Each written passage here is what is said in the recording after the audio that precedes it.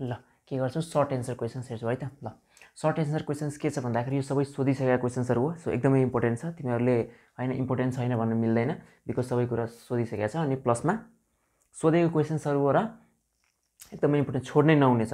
धेरै गाह्रो पनि छैन तिमीले बुझ्न पनि बुझ्न जान्छौ बुझ्दै जान्छौ होइन? कस्तो छ भन्ने कुरा हेरौँ। जस्तै हेर तिमीलाई लामार्किजम सोध्छ त्यसको ड्रब्याक सोध्छ।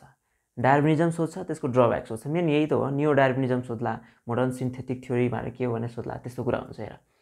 जे कुरा तिमीहरू लेख्न सक्छौ त्यो कुराको म एक्सप्लेनेसन धेरै गर्दिनँ। गर्न नजान्ने कुराहरू जुन जस्तो लाग्छ नि त्यसलाई म चाहिँ प्रपरली एक्सप्लेन गरिदिन्छु र write a brief account of criticism of Lamarckism लामार्किजमको थ्योरीमा के के मिलाएको थिएन के के कुरा ड्रब्याक्स थियो अथवा ड्रब्याक्स थियो अथवा क्रिटिसिजम भनेर सोध्यो भने यो लमार्किजमको यो क्वेसन एन्सर दिने ठिक छ? क्रिटिसिजम भनेर सोध्यो भने अथवा ड्रब्याक्स के कुरा मिलेको थिएन ल मार्कले के के कुरा चाहिँ एक्सप्लेन गर्न बिर्सेको थियो के के कुरा एक्सप्लेन गरेको थिएन त्यो कुरा मेन्सन गर्ने। ठिक छ? ओके ल। अर्को चाहिँ drawbacks of theory of natural selection त्यही हो। डार्विनिजम अथवा नेचुरल सेलेक्सनको ड्रब्याक लेख अथवा क्रिटिसिजम लेख। जस्तै यसको क्रिटिसिजम भन्दाखेरि अब के भयो भन्दाखेरि म्युटेसनको कुरा यसले गरेको थिएन। ओरिजिनल भेस्टिजियल अर्ग्यान्स म्युटेसन्सको कुरा पनि गरेको थिएन यसले। म्युटेसनको कुरा एक्सप्लेनेसन गरेको थिएन। भेरिएसन किन भयो भन्ने पनि भन्न सकेन उसले। अनि त्यसपछि भेस्टिजियल अर्ग्यान्स भनेको थियो। Vestigial vestigial organs. भेस्टिजियल अर्ग्यान्सको बारेमा पनि के गरेको थिएन एक्सप्लेन गरेको थिएन। त्यस्तोहरू हो ड्रब्याक्स अथवा क्रिटिसिजम त्यो कुरा लेख। अब लमार्किजम लेख्न सक्छौ। लमार्किजम लेख्दा डार्विनिजम लेख्दाखेरि कसरी लेख्ने भन्दाखेरि त्यसको के गर्ने? नाम लेख्ने। जो कसले दिएको छ त्यसको नाम लेख्ने। उसको अलिकति सक्छौ भने बायोग्राफी लेख अलिकति। कहिले जन्मिया थियो कहाँ जन्मिया थियो भन्ने कुरा लेख। उसले यो थ्योरी कहिले दिएको थियो त्यो कुरा लेख। ठिक छ? अर्को कुरो भनेको त्यसपछि त्यो थ्योरीको पोस्टुलेट्स लेख। पोस्टुलेट्स लेख र कन्क्लुजन लेख। अथवा यो थ्योरीलाई कतिको एक्सेप्ट छ छैन अथवा कुनै ड्रब्याक्स छ कि छैन यसो दुईवटा ड्रब्याक्स पनि लेख्न सक्छौ। सक्यो भ्यायो भने सक्यो भने। किनभने किनभने अहिले तिमीहरूको फोर मार्क्सको हुन्छ। सर्ट सर्ट क्वेस एन्सर भनेको कति मार्क्सको हुन्छ? फोर मार्क्सको हुन्छ। तिमीलाई पुर्याउनु भन्ने पर्ने कति हुन्छ? दुई पेज पुर्याउनु पर्छ। दुई पेज पुर्याउनुको लागि तिमीले त्यसको साइन्टिस्टको बारेमा लेखेर त्यसको अलिकति ब्रिफ साइन्टिस्टको बारेमा लेख्ने त्यसपछि के गर्ने? पोस्टुलेट्स लेख्ने। साइन्टिस्टको बारेमा लेख्ने त्यसपछि के गर्ने? पोस्टुलेट्स लेख्ने र त्यसपछि त्यसको ड्रब्याक्स सक्छौ भने ड्रब्याक्स पनि लेख होइन? सक्यो भने ड्रब्याक्स पनि लेख। अनि त्यसपछि लास्टमा कन्क्लुजन लेख। ठिक छ? यति गर्न सक्छौ? ओके? ल यति गर्न सक्यो भने सकिन्छ। अर्को छ त्यस्तै छ डार्बिनिजमको पनि यो कसले दिएको थियो? डार्बिनले दिएको थियो। कहिले दिएको थियो? पोस्टुलेट्स के के थियो? ड्रब्याक्स के के थियो? अनि लास्टमा कन्क्लुजन कतिको एक्सेप्ट गरिरहेको छ छैन? कतिको कुरालाई मान्य दिएको छ कि छैन भन्ने कुरा। एक्सप्लेन डार्बिनिजम भन्यो अथवा एक्सप्लेन नेचुरल सेलेक्सन भन्यो। सेम कुरो हो ठिक छ? डार्बिनिजमलाई थ्योरी अफ नेचुरल सेलेक्सन भनेकै के हो? Darwinism okay types of struggle for existence भनेको इन्टर स्पेसिफिक इन्ट्रा स्पेसिफिक र इन्भाइरोमेन्टल स्ट्रगल यो तिनवटाको बारेमा लेख्ने। तिनवटा भनेको के हो? डिफिनेसन्स लेख्ने अनि तिनटैको इक्जाम्पल्स लेख्ने र तिनीहरूको सिग्निफिकेन्स के छ? के इम्पोर्टेन्स छ तिनीहरूको? इन्टर स्पेसिफिक स्ट्रगलको के इम्पोर्टेन्स छ? इन्ट्राको के छ? अनि त्यस इन्भाइरोमेन्टल स्ट्रगलको के इम्पोर्टेन्स छ? ठिक छ? कुन कुन बिचमा हुन्छ त्यो कुराहरू पनि के गर्ने? एक्सप्लेन गर्ने। ठिक छ? ल। Explain use and disuse of organs कुनै पनि अर्ग्यान्सलाई युज गर्दै जाँदाखेरि त्यो झन् अलिक एकदम सार्प हुँदै जान्छ। के हुँदै जान्छ? एकदम बेटर हुँदै जान्छ। तर कुनै पनि अर्ग्यानलाई तिमीले युज गर्न छोड्यो भने त्यो के हुँदै जान्छ? त्यो भनेको हराउँदै जान्छ लोप हुँदै जान्छ बिस्तारै बिस्तारै बिस्तारै के हुन्छ? हराएर जान्छ।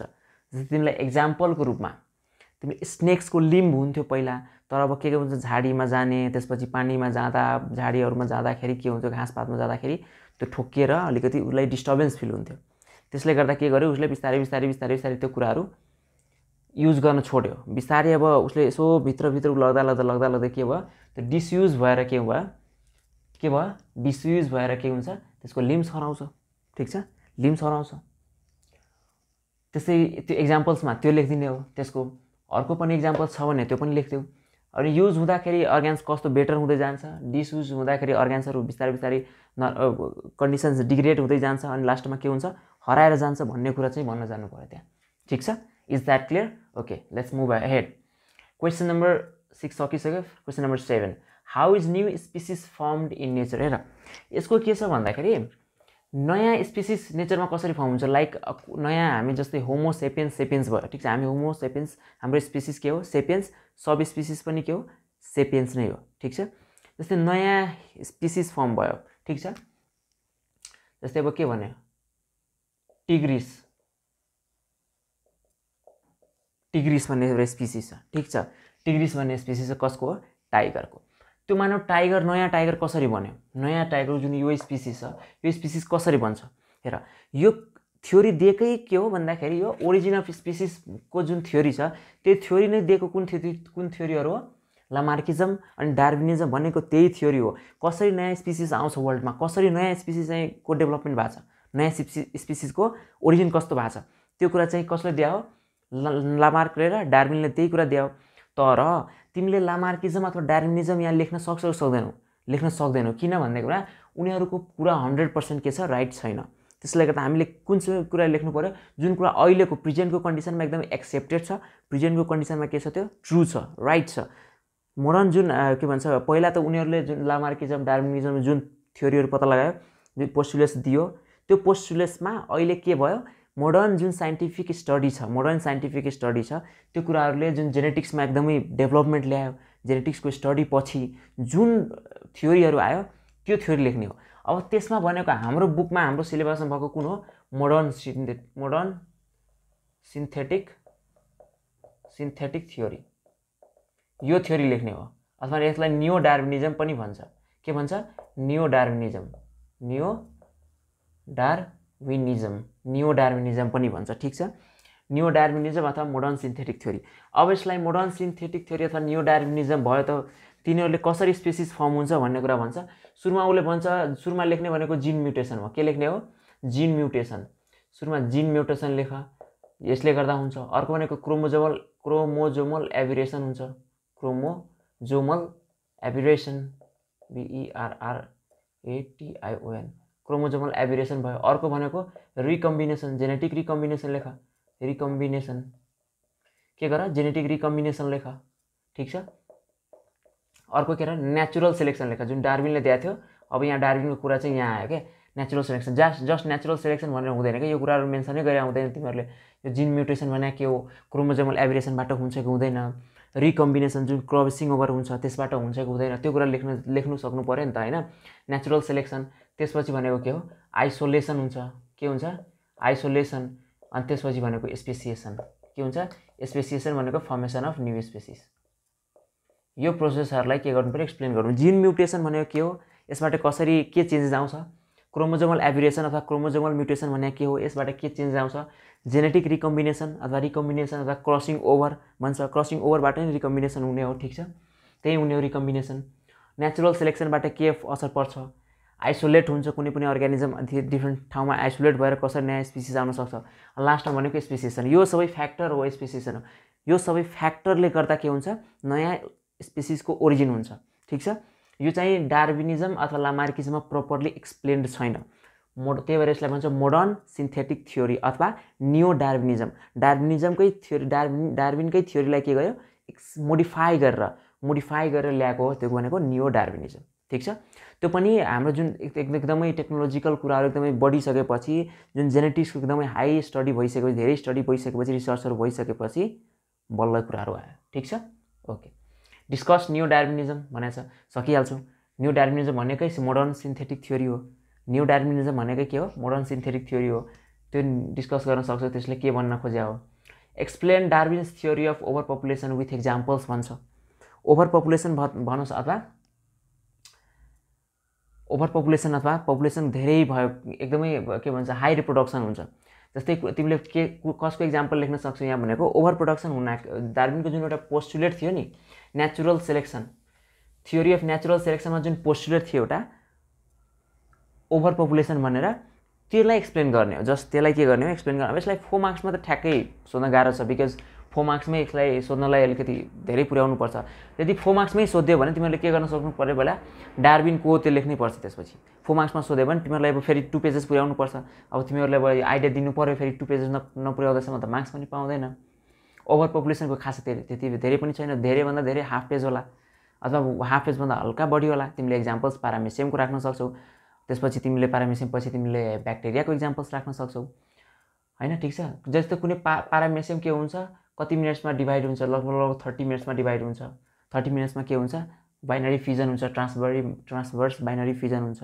ठिक छ? ट्रान्सभर्स बाइनरी फिजन हुन्छ पारामेसियममा कुनै कुनै ब्याक्टेरिया के हुन्छ? ट्वेन्टी मिनट्समै डिभाइड हुन्छ। ट्वेन्टी मिनट्समै डिभाइड हुन्छ। ट्वेन्टी मिनट्स भनेपछि अब मानौ एनवटा छ भने टु एन भइदिन्छ। त्यसपछि फोर एन भइदिन्छ।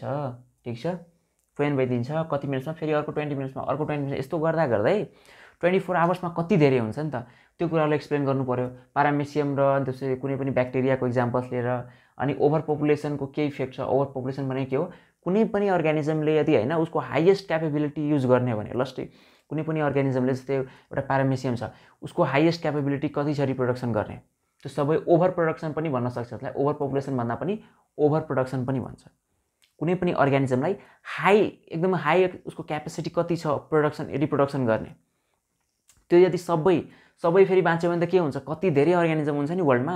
त्यही भएर त्यहाँ स्ट्रगल फर एक्जिस्टेन्स हुन्छ सर्भाइभल फर द फिटेस्ट हुन्छ नेचुरल सेलेक्सन हुन्छ। तर हामीले एक्सप्लेन गर्ने ओभर पपुलेसनको मात्र हो अथवा ओभर रिप्रोडक्सन अथवा ओभर पपुलेसनको ठिक छ? ओके त्यो कुरा भन्न जानु पऱ्यो mention the role of variation in organic evolution यो कुरो यो यो अलिकति क्वेसन बुझौँ हेर रोल अफ भेरिएसन भन्छ हेर। भेरिएसन भने के बुझ्छ? भेरिएसन कसरी आउँछ? भेरिएसन आउने भनेको जेनेटिक रिकम्बिनेसनबाट हो that is by the help of crossing over crossing ओभरले गर्दा भेरिएसन आउने हो ठिक छ? यो कुरा बुझिरहेको छु। अब हेर भेरिएसनले के रोल प्ले गर्छ हेर? अर्ग्यानिक इभोल्युसन गर्दाखेरि तिमी यतिकै बुझ्यो इभोल्युसन भनेको नयाँ स्पिसिस आउनु हो इभोल्युसन भनेको नयाँ स्पिसिस आउने हो। अब नयाँ स्पिसिस आउनको लागि तिम्रो कुनै कुरा कम्बाइन भइरहेछ मिक्सेस भइरहेछ भने त्यहाँबाट नयाँ स्पिसिस आउने चान्सेस एकदमै बढी हुन्छ नि। के हुन्छ भन्दाखेरि जस्तै म के भन्छु भन्दाखेरि हेर भेरिएसन छ एउटा अर्ग्यानिजम छ एउटा अर्ग्यानिजम छ ए भन्ने अर्ग्यानिजम छ। त्यसको के भयो? भेरिएसनबाट अथवा क्रसिङ ओभरबाट के भयो? स्मल ए स्मल बी त्यसको के भयो? स्मल ए अनि स्मल बी भनेको दुईवटा के भयो? त्यसको प्रोजेनी आयो त्यसको अफ स्प्रिङ आयो। त्यो अफ स्प्रिङमा पनि के हुन्छ? फेरि भेरिएसन हुन्छ। योभन्दा यो दुइटा फरक हुन्छ। फेरि योभन्दा फेरि यसको यो दुइटा फरक हुन्छ। मानव वान र टू आउला यसको पनि थ्री या फोर आउला। फेरि योभन्दा फेरि अर्को फेरि फरक हुन्छ। ठिक छ? योभन्दा के हुन्छ? अर्को अर्को फरक हुन्छ भनेपछि सुन न। यहाँ भन्दा ए भन्दा त ए को क्यारेक्टर नै जस्तो कसैको यो कसैको ड्याडी हो भने ड्याडी आमा बुवा हो भने उसको छोरा छोरी दुइटा फेरि फरक हुन्छ। भेरिएसन आउँछ नि त। भेरिएसन भनेको के हो? क्रसिङ ओभरले आउने हो। भनेपछि उसको छोराछोरी फरक हुन्छ। फेरि उसको छोराछोरीको पनि छोराछोरी अझै फरक हुन्छ। फेरि उसको छोराछोरीको पनि अझै छोराछोरी अझै फरक हुन्छ भनेपछि डाइरेक्ट यहाँबाट हेर्दाखेरि त होइन धेरै जेनेरेसन्स ग्याप भइसकेपछि त तिनीहरूको क्यारेक्टर भनेको त आमा बुवा भन्दा त उनीहरूको लास्ट एन्सेस्टर भन्दा त कुनै पनि प्रोजेनीको जुन हुन्छ नि प्रोजेनीको त एन्सेस्टर भन्दा त धेरै फरक क्यारेक्टर आउँछ धेरै फरक। भनेपछि त्यो के भयो? नयाँ ओरि के भन्छ ए ओरि के भन्छ? स्पेसिस आयो। नयाँ स्पेसिसको के भयो? इभोल्युसन भयो। त्यसरी के भन्छ भेरिएसनले के रोल प्ले गर्छ भन्ने कुरो भयो। यसैलाई एक्सप्लेन गर्न सक्नु पऱ्यो अर्को कुरा हेर जति धेरै भेरिएसन्स हुन्छ जति धेरै नम्बर अफ स्पेसिस हुन्छ त्यति चान्सेस अफ इभोल्युसन बढ्छ। जस्तै मैले एउटा कुरा भन्छु जस्तै हन्ड्रेडवटा कहीँ ठाउँमा स्पेसिस छ। तिमीले एउटा कुरा त्यो मैले भनिसकेँ नि अघिको कुरा चाहिँ एक्सप्लेन गर्न सक्नु पऱ्यो कि एन्सेस्टरमा जति धेरै के भन्छ नम्बर अफ जेनेरेसन्स बढ्दै जान्छ भेरिएसन्सले गर्दा उसको जुन लास्टको प्रोजेनी हुन्छ नि त्यो उसको फर्स्ट एन्सेस्टरभन्दा धेरै फरक हुन्छ भनेपछि त्योभन्दा स्पेसिस नै फरक भएर आइदिन्छ। अब उसले त्यो बिचमा के के गर्ला एडाप्टेसनल बिहेभियर सो गर्ला एडाप्टेसन डिफ्रेन्ट टाइप्स अफ एडाप्टेसनले गर्दा के गर्न सक्छ? के गर्छ? उसले के भन्छ एडाप्टेसनले गर्दा उसमा धेरै चेन्जेस आउँछ नि त होइन? ल। त्यो कुरा बुझ्यो अब यहाँ पनि त्यो कुराको म यहाँ पनि गर्छु त्यही भएर त्यहाँ छोडिदियो भएर हन्ड्रेडवटा स्पेसिस छ अनि एउटा ठाउँमा टेनवटा स्पेसिस छ भनेपछि नयाँ स्पिसिस सयवटा स्पेसिस छ कुनै ठाउँमा एउटा जङ्गलमा एउटा जङ्गलमा दसवटा स्पेसिस छ भनेपछि नयाँ स्पिसिसको डेभलपमेन्ट नयाँ स्पिसिसको ओरिजिन कहाँ हुन चान्सेस बढी हुन्छ यहाँ किनभने हन्ड्रेडवटा स्पिसिस छ त्यो हन्ड्रेडवटा स्पिसिस भनेको डिफ्रेन्ट इन्भाइरोमेन्टमा जाला different feeding shelter different habits हुन्छ कस कोही पानीमा बस्ला कोही खाना कहीँ खाला कोही के खाला। त्यस्तो गर्दाखेरि तिनीहरूको स्ट्रगल डिफ्रेन्ट हुन्छ। स्ट्रगल डिफ्रेन्ट भएपछि उनीहरूमा के डिफ्रेन्ट क्यारेक्टर सो गर्न थाल्छ। डिफ्रेन्ट क्यारेक्टर सो गरेपछि त्यो क्यारेक्टर के हुन्छ अब? मानौँ के भन्छ जेनेटिक्स तिम्रो के भन्छ यो जम सेल्सलाई जे जम सेल्सलाई यदि एफेक्ट गरेछ भने त्यो नेक्स्ट जेनेरेसनमा पास हुनसक्छ। नेक्स्ट जेनेरेसनमा पास हुँदाखेरि क्यारेक्टर फरक भएर के हुन्छ? नयाँ स्पिसिस आउनसक्छ। तर दसवटा छ भने यहाँ सयवटामा चान्सेस बस नयाँ स्पिसिस सयवटाबाट नयाँ स्पिसिस आउने चान्स भयो भने यहाँ चाहिँ दसवटाबाट मात्र के हुन्छ नयाँ स्पिसिस आउने चान्स हुन्छ। त्यो भइसकेपछि के बुझ्नु पऱ्यो कि नम्बर अफ जति भेरिएसन्स बढी हुन्छ त्यति नै के हुन्छ chances of evolution of new species हुन्छ। ठिक छ? Is that clear okay let's move to the next question development of giraffe snake giraffe snakes भनेको कसले एक्सप्लेन गरेको थियो? त्यो कुरा भन्न सक्छु ल मार्कले भनेको थियो ठिक छ? जिराफको पहिला नेक्स्ट सानो थियो अब उसलाई त्यो पात खानु पऱ्यो भनेर लेक के भन्छ नेक अलिकति लम्ब्याएर अलिक माथिसम्म लानु पर्थ्यो माथिसम्म लाउ लाँदाखेरि के गर्नु पर्थ्यो नेक माथिसम्म लाँदाखेरि बिस्तारै बिस्तारै गर्दा गर्दै नेक लामो भयो उसको होइन? ठिक छ? घाँटी लामो भयो भन्ने कुरा एक्सप्लेन गर्नु सक्नु पऱ्यो त्यो सकिन्छ सजिलो पनि छ। What is the meaning of diversity in context of the cause of evolution हेर। यहाँ तिमीलाई दुईवटा कुरालाई एक्सप्लेन गर्नु पऱ्यो डाइभर्सिटीले रोल के रोल प्ले गर्छ? डाइभर्सिटीले के रोल प्ले गर्छ इभोल्युसनमा र अर्को कजेज अफ इभोल्युसन अलिकति तिमीलाई क्वेसन लम्ब्याउनु छ नि त। यहाँ कजेज अफ इभोल्युसन भने सोधेको त छैन बट तिमीले त्यो लेख्न सक्छौ हेर। कज अफ इभोल्युसन के के हुनसक्छ जस्तै म्युटेसन भनिसकेँ मैले अघि त्यहाँ। जिन म्युटेसन भयो क्रोमोजोमल एभिरेसन भयो अर्को के भयो? रिकम्बिनेसन भयो ठिक छ? नेचुरल सेलेक्सन आइसोलेसन त्यस्तोहरू भनेको इभोल्युसनको कज भयो।